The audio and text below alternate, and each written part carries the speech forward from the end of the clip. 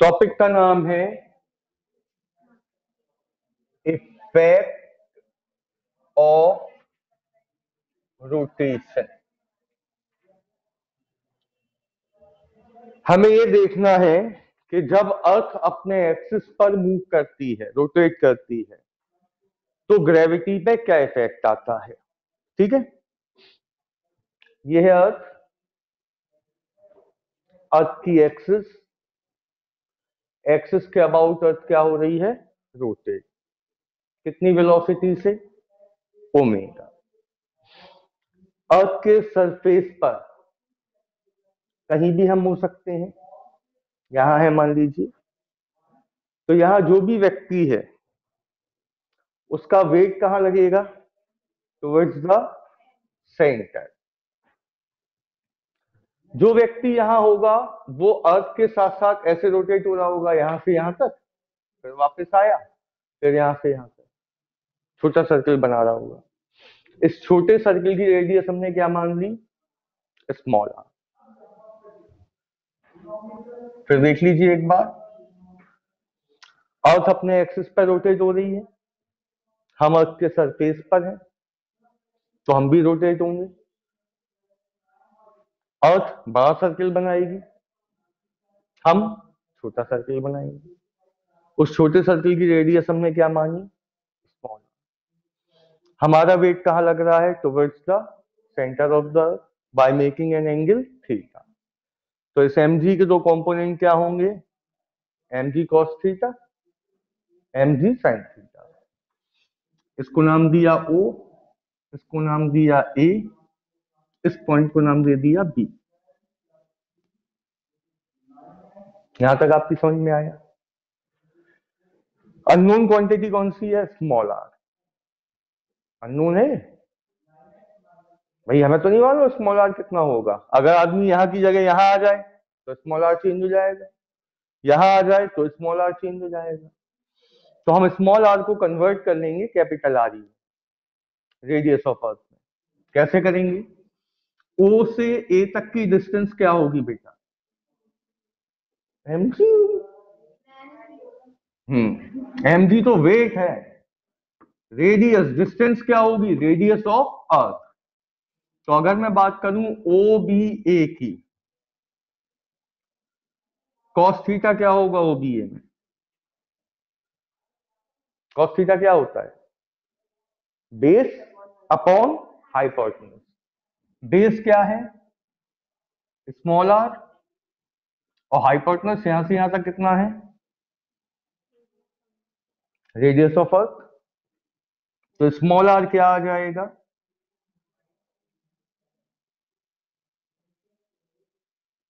अब तो ये नून क्वांटिटी हो जाएगी हमारे लिए। इतना क्लियर है? अब देखते हैं आगे।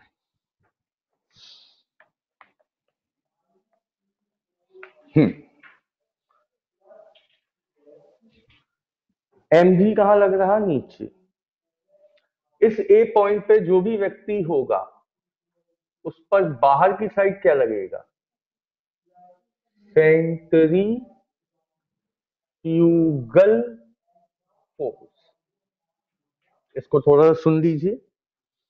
वॉशिंग मशीन में जब कपड़े घूमते हैं तो बाहर की तरफ़ चिपक जाते हैं। क्योंकि उनकी बाहर की तरफ़ कौन खींचता है? ऐसे ही अगर हम घूम रहे होंगे एक्सिस के अराउंड तो हमें भी बाहर की तरफ़ कौन खींचेगा? सेंटिफ्यूगल फोर्स सेंटिफ्यूगल फोर्स का फॉर्मूला होता है M R omega square R हमारे पास क्या है? आर ई कॉस थीटा तो M R E omega square cos theta कोई दिक्कत? तो हम पर कौन कौन से दो फोर्स लग रहे हैं? एक सेंटिफ्यूगल फोर्स और एक एम जी इनके बीच में एंगल कितना है? 180 एट्टी माइनस थीटा इनके बीच में एंगल है 180 एट्टी माइनस थीटा तो दो फोर्सेस का रिजल्टेंट कैसे निकलेगा? दो फोर्स है। हम इनका क्या निकालना resultant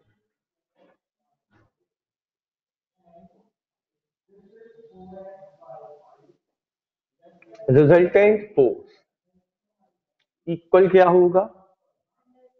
Under root A square A square मतलब एम जी का स्क्वायर प्लस बी स्क्वायर मतलब M R E omega square cos theta का whole square A square plus B square आगे plus two A B cos theta तो plus two A की जगह M G B की जगह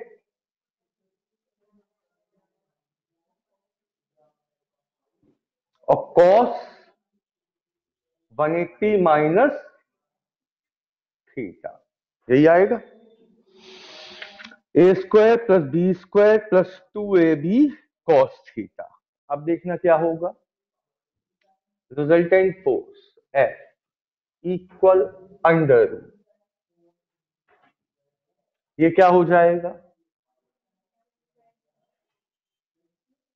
plus ये क्या हो जाएगा?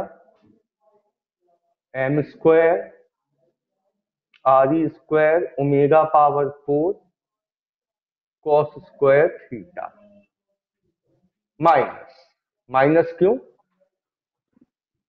Cos one eighty minus theta होता है माइनस कॉस थीटा तो आगे क्या लग गया? माइनस क्या आएगा? Two M square G R E omega square cos square theta. हाँ या ना? ये लाइन क्लियर है आपको? कॉस 180 माइनस थीटा होता है माइनस कॉस थीटा। माइनस आगे आ गया। कॉस इंटू कॉस क्या हो गया? Cos square theta. अब मुझे ये बताओ, अर्थ बहुत तेज घूमती है या बहुत स्लो? अर्थ की एंगुलर स्पीड जो होती है, बहुत हाई होती है या बहुत लो? बताओ दोस्त। अपन को लगता है अर्थ घूम रही है, महसूस करते हैं अपन? यानी कि बहुत कम होती है। जब बहुत कम है, इसका मतलब ओमेगा बहुत छोटी क्वांटिटी है। तो ओमेगा की पावर फोर क्या होगी? नेग्लिजिबल होगी। जब कोई क्वांटिटी बहुत छोटी होती है तो उसके स्क्वायर क्यूब पावर फोर और भी कम हो जाते हैं। जैसे मान लो ओमेगा है वन बाय टू तो ओमेगा स्क्वायर क्या होगा? वन बाय फोर कम हो गया?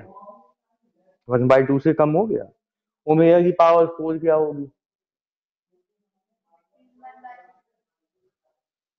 समझ में आ रही बात? तो जब क्वांटिटी बहुत छोटी हो तो उसकी पावर्स और छोटी होती हैं। तो ओमेगा पावर फोर और ओमेगा स्क्वायर में से कौन नेग्लिजिबल है इस समय? नेग्लिजिबल है? इसके कंपेरेटिवली ये क्या है? नेग्लिजिबल तो इतनी क्वांटिटी क्या हो जाएगी? नेग्लेक्ट ठीक? क्या बच्चा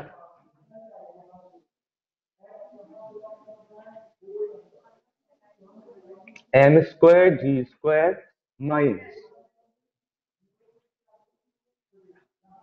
two M square G R E omega square cos square theta अब दोनों में हम ज़बरदस्ती कॉमन लेंगे एम स्क्वायर जी स्क्वायर भाई एम स्क्वायर तो कॉमन मिल ही रहा था और जी कॉमन मिल रहा था। हम लेंगे जी स्क्वायर कॉमन तो क्या होगा? यहाँ जी से डिवाइड हो जाएगा।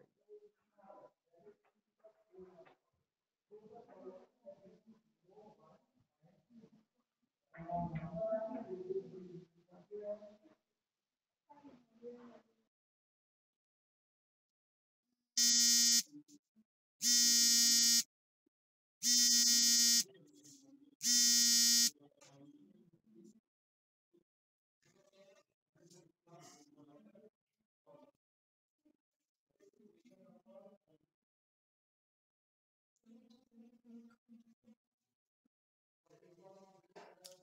आ रही है आप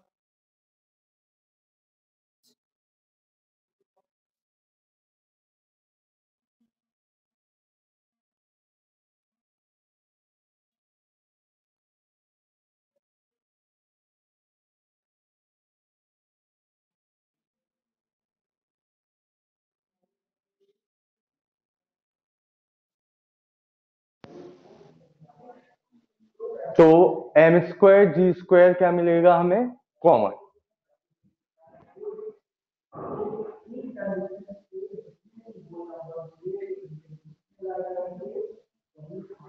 कॉमन मिल गया तो क्या बचा? One minus two.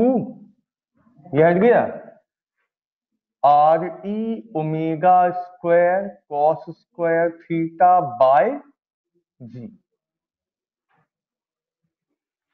बताइए। इतना क्लियर हुआ? बताइए भाई। अब कौन बाहर निकल रहा? एम जी हो जाएगा बाहर निकल के? अंदर क्या बच्चा one minus two R E omega square cos square theta. By G power one by two लिख सकते हैं इसे? अब क्या यहाँ बाइनोमियल लग जाएगी? फ़र्स्ट टर्म वन है सेकंड टर्म फ्रैक्शन है और पावर भी फ्रैक्शन है। बाइनोमियल लग जाएगी। पावर का मल्टीप्लाई होगा यहाँ। तो M G one minus one by two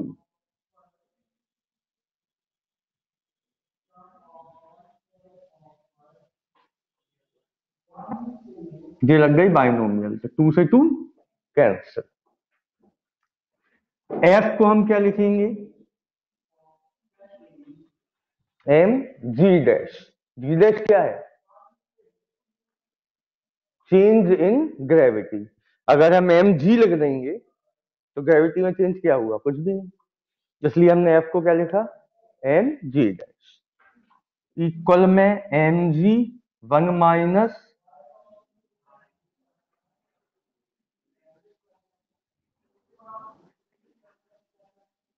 M से एम कैंसिल जी का अंदर मल्टीप्लाई कर दो तो फाइनली जी डैश क्या आ जाएगा?